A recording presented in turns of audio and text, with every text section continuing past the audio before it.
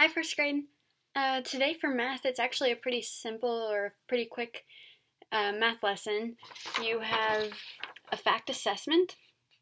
Um, 14 is one of them that you should have. Now, for this one, to prepare you for second grade, when you start taking your tests, you have to get timed on your tests. So, I'm going to have you time this test uh, today have a parent um, go on their phone and set a two minute timer or on the computer and search two minute timer. And you have two minutes to get as far as you can on this. It's okay if you don't finish. Do your very best um, answer as many as you can.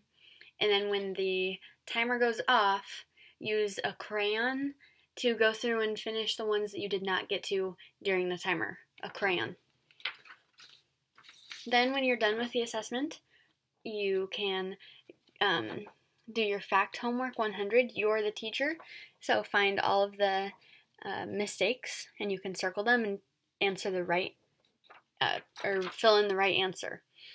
For the fact assessment, for this one, when you're all finished, have a parent take a picture and um, turn it in for you.